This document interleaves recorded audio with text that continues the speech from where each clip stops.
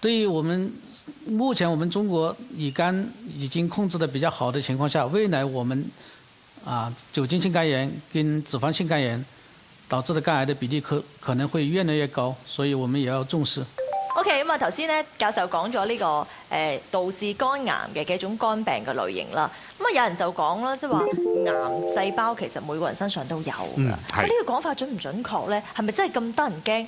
每个人身上其实啊经常会有癌细胞的，但是正常情况下，我们免疫力正常的情况下，我们这个免疫细胞会把这个肿瘤细胞给它杀死。这个就好像我们犯罪分子跟警察的关系一样的，有些犯罪分子很典型，警察一眼就看出他是犯罪分子。肿瘤细胞也是这样，有些肿瘤细胞它很典型，我们免疫细胞一下就认出来，但是有些细胞它可以自己分泌一些讓免疫细胞偽裝得好好。对免疫细胞不能认识它，嗯，或者它免分出来的东西可以让免疫细胞的功能下降，最后面导致我们的肿肿瘤长起来。所以就是说，两方面的原因，一方面是因为肿瘤细胞太强大，它变化的太强了；另外一方面呢，就是因为免疫力低下，所以最后导致肿瘤。但是我们正常情况下的肿瘤细胞是体内都是有的，啊，经常会产生的，但是我们可以把它杀灭它，所以不會產生腫瘤。我哋以前成日聽過咧，就話誒有條村叫做長壽村啊，咁啊亦都聽講咧有啲村咧係成條村都生癌症嘅。咁啊想問下，即係癌症村同埋長壽村，其實佢哋之間嘅區別喺邊度咧？癌症村跟長壽村之間嘅區別，啊除了遺傳因素之外，最主要的我想還是環境的因素，因為在某些地方它可能存在一些致癌的一些因素，比如在某些某些地方它是饮水里面含含有比较高的霉菌啊，啊，就是发霉的食物啊，啊，有些它可能是当地的饮水啊或者饮食里面含有一些矿物质，它那些东西是可以致癌的。特别是有一些开矿的地方，可能有一些污染啊，导致我们的食飲食当中有很多致癌的物质。所以那一个村里面共同大家吃这个喝这个水吃这个东西，最后面可能导致发生癌症的几率就大很多。嗯，啊，反而有一些长寿村呢，它可能这里面这些因子比較少。生態環境好好啦。對對啊，它最後面自然活的時間就長。水質又好啦，对咁啊大家即係又生活得好開心啊，冇乜憂慮。其實我覺得聽完教授介紹之後咧，總體嘅感覺就係我哋嘅生活習慣，特別係飲食啊，對於呢個疾病係有好大嘅、好直接嘅關係嘅。咁啊，史上咧有啲人就話有啲食物咧好強抗癌性嘅喎，譬如話我哋成日食嘅粟米啊、誒南瓜啊呢一類嘅食物。咁啊，想問下咩胡蘿蔔啊呢啲咁嘅稱之為史上最犀利嘅抗癌食物，係咪真係可以抗癌呢？目前還沒有直接的證據證明它真的可以抗癌，因為這是很多年以來大家都認為，从中医的角度，可能就是说这些食物可能对抗癌有一定的帮助，但是你说这个食物就一定有抗癌作用，目前没有直接的證據。嗯，係。咁我哋即係醫生咧，成日病人都會問啊，肝臟咧誒好多人都問啊，食咩食物對肝臟比較好啲咧？在我們現在生活條件好了，其實對於肝臟來說，首先是要保持低脂的飲食，因為我們現在生活好了，特別容易肥胖。一一肥胖的話，就會很容易出現脂肪肝。脂肪肝跟我們目前這個呃肝臟的病變是很有关系的，所以我们就是说，在吃吃东西的时候要最好是低脂。另外呢，我们要保持一定的优质蛋白，像大豆啊、鸡蛋啊这种优质蛋白，我们要摄入足足量的优优质蛋白。其他的包括有胡萝卜，还有大量的维生素，是吧？它对这肝脏也是有好处的。很多就比较清淡的饮食对肝脏相对来说要比较好一些。导致肝癌嘅主要因素是肝炎、脂肪肝、酒精性肝炎等。要預防肝病嘅發生，飲食上需要低脂、清淡，而且需要摄入足夠嘅優質蛋白同埋維生素。聽完專家教路，跟住就考下大家，以下邊一種講法係啱嘅呢 A. 肝臟主要功能係解毒凝血。B. 肝臟功能好壞同情緒無關。C. 寄生蟲都會導致肝病。D. 肝切除咗一半都可以保證正常需要。我觉得肝臟嘅主要功能解毒，我諗呢個係係啱嘅。嗯嗯，咁我覺得寄生蟲都會導致肝病，呢句啱啊！即係唔好食生啦，係嘛？食嗰個魚生肝吸肝蟲啦，係嘛？呢個好明顯啦。冇錯冇錯。我覺得嗰個肝臟功能好壞與情緒無關咧，咁呢個絕對唔係。係要好心情係嘛？情緒同埋所有五臟六腑都好有關。嗯，这个我們經常會說心肝寶貝，心肝寶貝啊，說明我們的肝臟跟心臟在我們人體裡面是非常重要的一個器官。肝臟它就好像是個綜合的工廠，它一方面可以把我們吃進去的東西在肝臟裡面進行轉化成其他的有用的，把一些沒有的像白蛋白啊、凝血的因子啊沒有的把它合成起来，包括你葡萄糖转化为脂肪转转化为呃白蛋白这些东东西都是在这里合成的。另外一个最也是一个很重要的就是分解，它就把这些有毒的东西转化為別的东西，或者把它分解掉，让它最后从胆汁里面排出去。所以这个啊，从我们维持我们人体的功能来说呢，肝脏是一个非常非常重要的一个器官。对于这四种说法来说，第一种是肝脏主要功能是解毒凝血，这是对的啊。它同时肝脏还有合成的功能。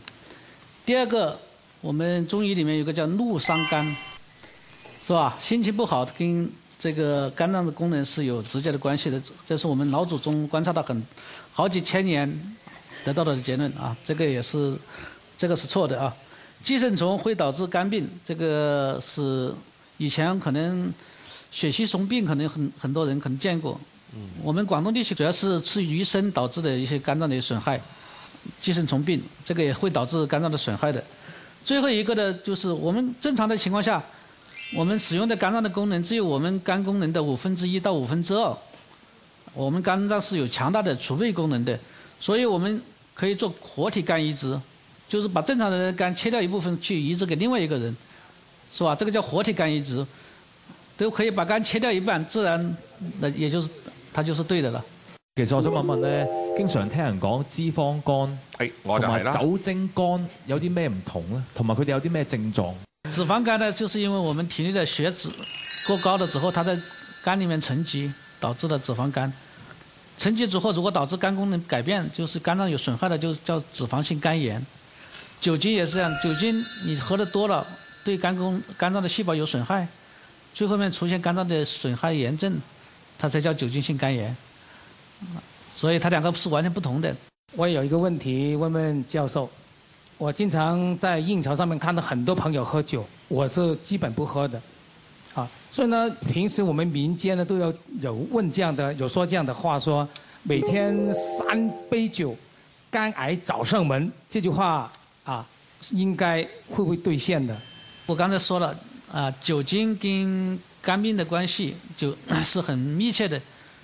酒精过量，它可以导致肝硬化，肝硬化之后会自然就会出现肝癌。在西方国家里面，大概有百分之二十到百分之三十的肝癌是跟过量饮酒有关系的。所以兔爸说的这个话是有道理的，确实是这样。过量的酒肯定会导致肝癌的。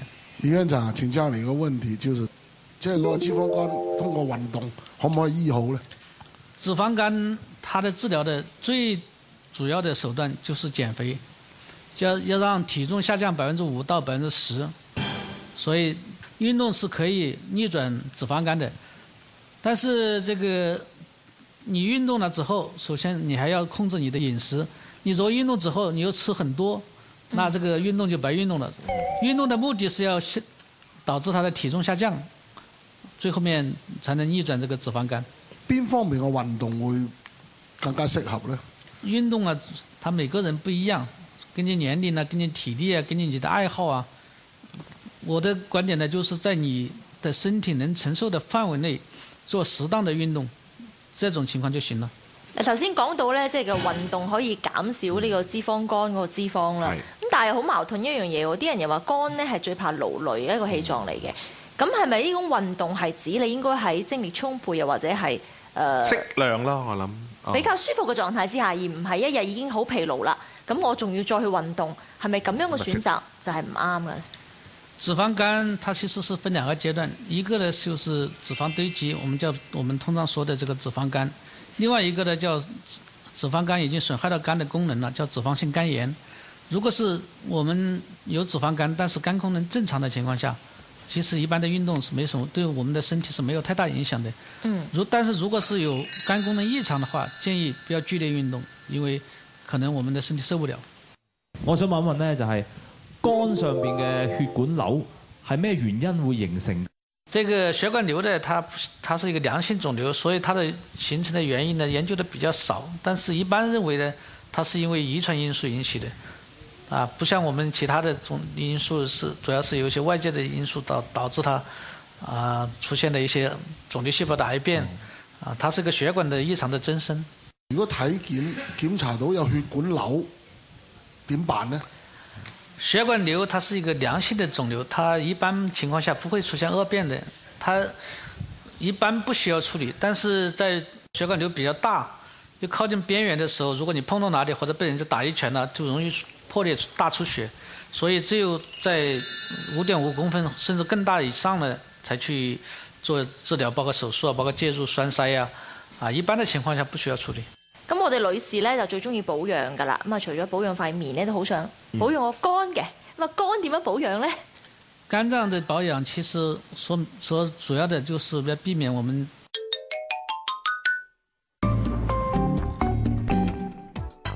解毒。我哋廣東人通常都會飲湯，解毒亦都係對肝嘅一種保養。咁應該點做先可以預防肝病，唔會有肝炎、脂肪肝同埋酒精肝呢？下一節翻嚟，專家話你知，千祈唔好行開。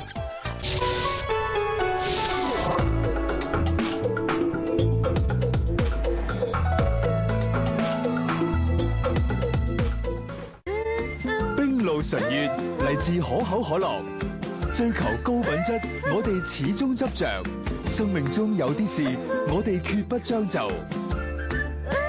点滴信任，点滴純悅。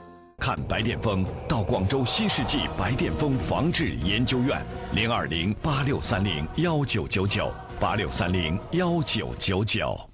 廣東中研白癜风研究院白癜风治疗领导者电话零二零三五幺九四个零三五幺九四个零。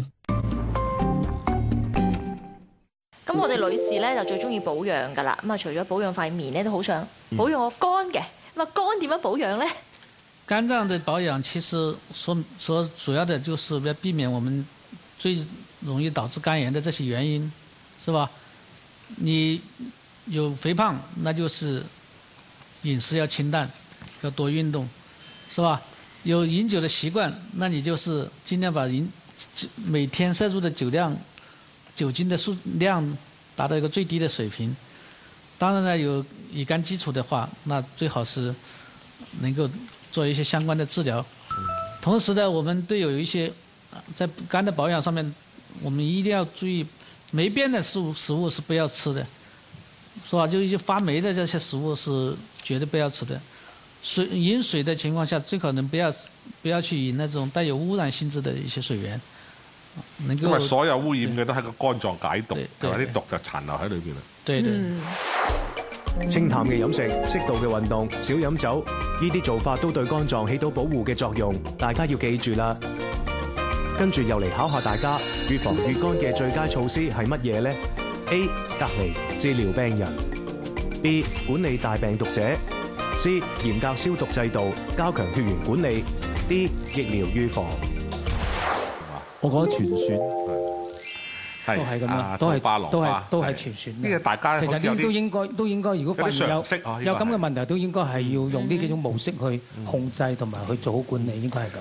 問下教授，正確答案係咪全選呢？因为这个答案它写的是最佳措施，其实对乙肝来说，它的预防的最佳措施是疫苗的接種。係。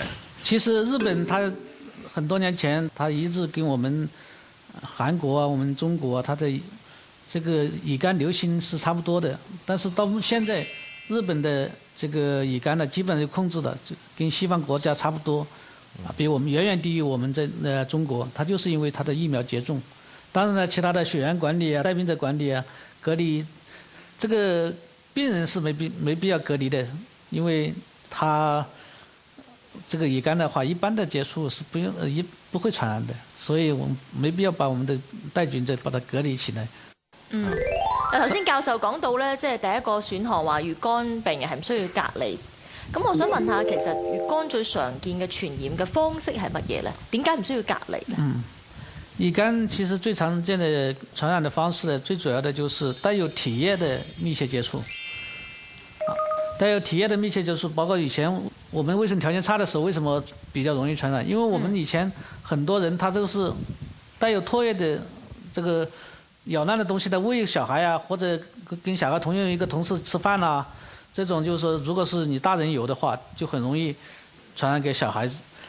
但是到至于成年人的话，一般大于你超过二十五岁以后的，很少有人听到有人得肝乙肝的，再重新得乙肝的，就是因为大人一般的免疫力比较完整了，就不容易得到乙肝。所以呢，我们要避免就是说跟小孩接触的时候有密切的体液接触，包括你喂东西。当然了，我们平时一个一个桌子吃饭是没有问题的，你自己固定一套碗筷就可以了，是吧？不要拿这种自己的碗筷喂小孩。另外一个，对于我们中国目前的情况下，乙肝传播的最一个途径呢，就是母婴传播，就是从母亲的胎盘里面传播给小孩。但是我们现在有很好的疫苗跟免疫球蛋白，只要大家去正规医院去生产，一般的话都没问题，百分之九十五以上是可以避免的。其他的包括一些性生活啊、吸毒啊、血液传染啊，也有，但是相对比较少。咁我仲想問下，其實誒乙肝患者喺臨床上邊呢，會有啲咩症狀呢？同普通人唔同嘅地方？一般的輕症肝炎呢，它是沒有症狀的，因为我们像乙肝携带者或者转氨酶高一点呢，很多人是没有症状的。个别人呢，他会有一些發力啊，然后有一些吃吃飯之后好像肚子胀胀胀的，啊，嗯、有黄疸的病人呢，可能有一些皮肤黄发黄，有肝硬化的可能会出现手掌这个肝掌啊，这个手掌发红，啊，一般没有太多的症状。一旦出现症状的话，往往是病情比较重，或者有其他的并发症，包括有肝硬化啊，有有食道静脉曲张啊，有这个肿瘤啊导致的什么腹水呀、啊、出血呀、啊、这一一些症状。但是早期一般没什么症状。咁其实如果真係得咗乙肝嘅患者咧，佢哋喺生活啦，特別係應酬嘅时候，係咪应该注意啲乜嘢咧？得了乙肝的患者，如果是你病毒比较低的情况下，一定要注意，不要饮酒。这个是最重要的。如果病毒还是比较高的话，或者你没有抗病毒治疗的期間，最好不要太疲劳。为什么呢？疲劳它可能会，啊、呃，你的抵抗力下降。长期熬夜啊，长期的消耗啊，抵抗力下降之后的这个病毒可能你抑制不住它，它可能突然突然一下爆发，最后面出现重症肝炎。因为有些有些乙肝患者他长期没什么事，突然一下子就出现一个很重很重。啊，我们在每年都会收到好几个。这种重症肝炎呢，大部分都是因为太疲劳，或者药物，或者呃其他的一些原因，情绪改变啦，啊突一些其他原因突然加重了，所以我们要注意这些方這些方面。嗱，好多誒肝炎嘅患者咧，特別係啲老肝炎患者，佢都好希望轉陰嘅，咁啊尋求各種唔同嘅方式嚟達到呢個目的。咁啊有人想問啦，其實中藥中醫究竟可唔可以？係啦，我大精深有冇辦法可以解決呢個問題？通常好多中醫嘅藥啊，即係都傳聞係對肝炎係有特別係轉陰嗬，係嘛？即係西醫目前咧就冇一個好肯定嘅藥物話可以保證轉到陰啦，係嘛？哦，咁啊好多人就轉投中醫啦嚇。嗯，目前呢，乙肝病毒的治療呢，啊，西醫方面已經也取得了很大的進進展，所以絕大部分雖然這這個病毒不能完全轉陰，但是可以把它控制在很低很低的水平，啊。但中醫方面呢，也有一些藥物，有一些方子可以導致這個啊乙肝病毒的转阴，但是转阴率还是比较比较低的。絕大部分呢，只是把這個肝功能控制在正常的水平。所以有效成分都唔係好清楚。對對對，所以就是說，你想靠中藥完全把它轉陰，這個這個幾率也是比較低的。通過食西藥雖然可以將乙肝病毒完全轉陰，但係可以控制喺好低嘅水平。中藥亦都係一樣嘅道理。跟住再嚟考下大家，以下邊啲可能係患咗肝病嘅症狀呢？A. 容易疲勞、全身倦怠、精神不振；B. 食慾不佳、體重下降、消化不良；C. 面色發黃、皮膚痕或者發疹；D. 血糖值異常上升。選 A，你選 A 係嘛？梗係有肝炎肯定乜都攰啦。係冇錯冇錯。好精神啊！周身攰啊，咁肯定有病。又又唔想食嘢啊，咁啊好困啊，好攰啦。譬如話嗰個面色發黃啊，咁啊肝咧有問題，肯定係眼啊面啊都會誒有啲黃氣啊，咁、嗯我覺得大家都發現黃嘅時候，肯定要檢查下肝有冇問題啦。係，我哋吸取教訓呢條應該係多選題，嚇啊，就唔係單我覺得可能係 B 就唔係咁啱啦，係嘛？因為食慾不佳、體重下降、消化不良，其他病好多病都會有呢個情況，咁唔一定係肝炎嘅。这个肝病呢，它是有很多症状的，啊，这四种情况其实都是可以发生的。这个血糖值异常跟肝病可能大家不太熟悉，其实糖尿病跟肝病是有密切关系的。刚才我们说的那个脂肪肝，糖尿病的病人，他发生的脂肪肝的可能性比正常人要大五倍以上。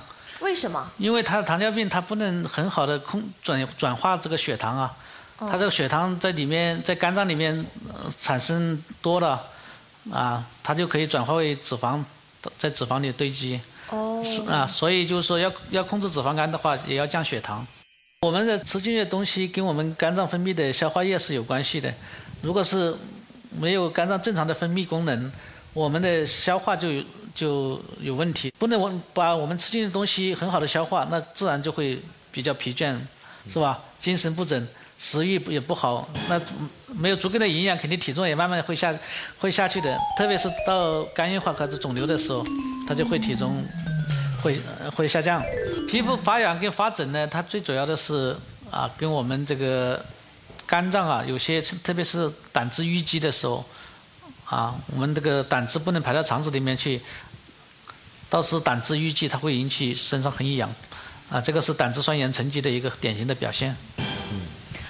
咁調翻轉頭講，即係成日話肝膽相照啦。嗯即係如果膽唔好嘅人，會唔會都導致個肝唔好呢？我們醫學上的膽跟我們平時大家可能說的膽還不太一樣。醫醫學上的膽呢，它包括膽囊跟膽管兩部分。膽所謂的膽管呢，就是連接我們的肝、膽囊以及腸的一個裡面的一個管道。如果這個管道裡面出現了膽結石啊，或者其他的腫瘤啊，或者其他的感染啊，导致我们的胆汁不能从肝脏里面流到这个肠子里面，那自然就会导致我们的肝脏的受损害，导致全身多个器官的受损害，最后面出现严重的问题。所以肝胆是有密切的关系的。其实我们胆囊其实就是我们肝脏分泌的胆汁储存在胆囊里面，等到我们吃完饭了之后，它一下就分泌出来，有助于我们消化。所以切過膽囊的人呢，可能消化有會有受一点点影响，但是也影响也不大的。如果係嗰啲诶胆管嘅息肉，咁点办？胆囊息肉其实也也是很常见的，这个分主要是看息肉的大小跟多少。如果是多发的息肉，而且息肉比较大的，这种比较容易癌变，所以就建议手术。所以如果是你体检发现有胆囊息肉，那你要经常去进行超声的随访，就经常去检查超声，看他有没有长大了，长大到什么程度，是不是需要做手术。一般的情况下，如果零点八公分呢，或者一点公零公分以内，一般的情况下不不建议做手术。啊，但是當然，你如果有嚴重的症狀，那個還是切掉好。其實頭先教授講嘅第三題嘅呢四個選項呢，如果電視機前嘅觀眾朋友發現自己即係有呢啲症狀咯喎，咁點辦呢？如果发现有症状的话，一定要去啊正规医院好好检查，要按医生的建议。为什么呢？这个为什么日本人现在发现的肝癌百分之七十以上的是早期，而我们中国发生发现的肝癌百分之八十以上是晚期，就是我们中国人对医生的建议的依从性比较小。我们医生建议你啊，你每年要来检查什么什么，要去检查什么，要么就不按時來檢查，要么你说检查三项，他给你检查一项，最后面他没有一个很好的依从性，最后面就出现了一系列很严重的疾病。所以呢，我们就是说，医生的话有时候还是要听，一定要看按按照他的建议去定期的检查。嗱，其實今日咧，誒李教授咧，亦都係中西醫結合嘅專家嚟嘅。咁喺呢一度咧，可唔可以同我哋推薦一個誒、呃、湯方啊，又或者係生活中嘅食療方咧，係對我哋肝臟有好處？我们煲汤啊，其实我们可以加一些像胡萝卜啊，这含有维生素很丰富的，像枸杞、枸杞啊、丹参啊这一类的药物，它都是对我们肝脏有好处。像甘草啊这些的，它都其实是对我们肝脏是，啊、呃、治疗都有好处的。对肝转氨酶不正常的情情况下，它都有治疗的作用。誒，譬如話維生素譬如話食邊啲維生素對護肝啊、養肝、補肝會有啲幫助呢？其實對肝臟來說，最有护肝作用的維生素是。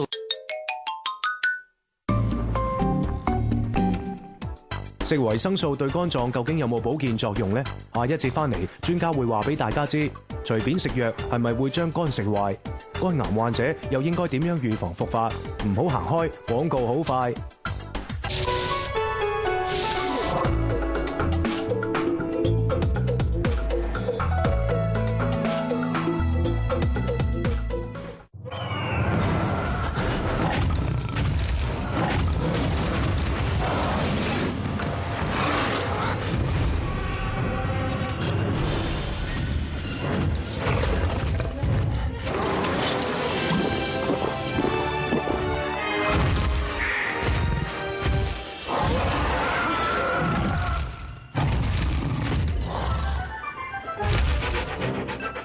可口可乐台词屏，让分享更有戲。看白癜风到广州新世纪白癜风防治研究院，零二零八六三零幺九九九八六三零幺九九九。嚟，今日我請客，我要 K 記涼茶，我要番茄佬，我要草莓聖誕，我要絕頂咖啡。而家全線冰飲同冰淇淋，第二份只要半價。咁抵啊！再嚟一份。全線冰飲同冰淇淋，第二份半價。廣東中研白癜风研究院白癜风治疗领导者电话零二零三五幺九四个零三五幺九四个零。看白癜风到广州新世纪白癜风防治研究院，零二零八六三零幺九九九八六三零幺九九九。食邊啲維生素對護肝啊、養肝、補肝會有啲幫助呢？其實對肝臟來說，最有护肝作用的维生素是维生素 E。当然呢，维生素 A、B 啊这些都，呃，对肝脏的是有保护作用的。因为肝脏它有很多的功能，如果你原料比较充足的情况下，它可能就不会用花那么大代价去进行一些转化、一些分解，啊，一些解毒的功能。所以就是说，我们要有充足的维生素，对我们肝脏是有好处的，而且要多种维生素。这里面呢，就建议用维生素的，呃，我不建议大家去补充维生素，只要我们多吃水果，多多吃这种青菜，啊，这是蔬菜一类的东西，我们是维生素是够的，因为水果里面含有的维生素很多。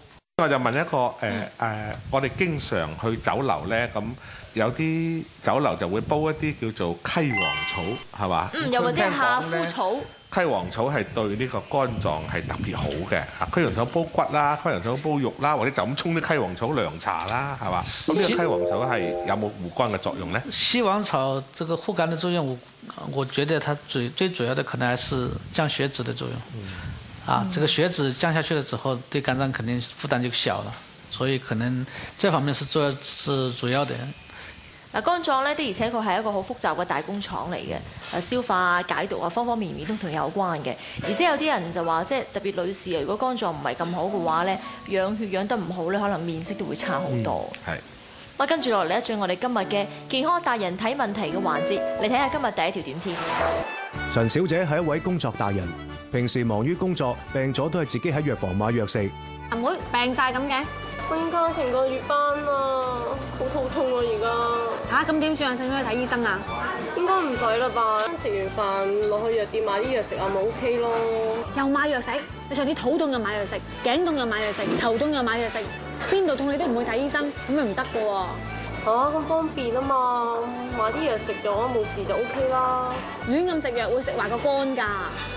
哦，食壞咗，飲多啲水就冇事啦吧。朋友就話：好似佢咁立亂食藥會食壞個肝，係咪真嘅咧？咁又應該點算呢？